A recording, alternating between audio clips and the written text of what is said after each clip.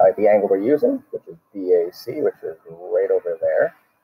Uh, I label my sides, hypotenuse, opposite, adjacent. I'm going to use the opposite and the adjacent, which is tangent. So tangent. Tangent is opposite over adjacent, so it's 7 over 4. I don't know the angle. Anytime I don't know the angle, second, tan, you hit second and then that function. And that will give you tan with a little negative 1, which is tan inverse, 7 over 4. Okay, so then uh, I'm going to go to my calculator.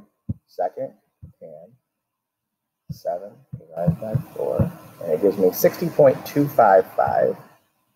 So 60.255.